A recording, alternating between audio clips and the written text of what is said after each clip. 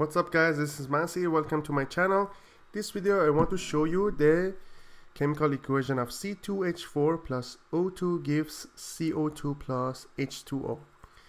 So that's basically the combustion or oxidation or burning of ethylene. So that's ethylene. Oxygen gives you carbon dioxide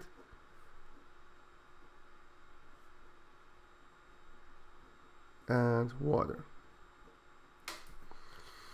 So let's see how we can do it. We have two atoms of carbon, so we need to put two here to balance it. Now carbon is balanced because we have two here and two here. What about hydrogen? Hydrogen we have two and four, so it's going to be two. So two times two is four. Here we have four.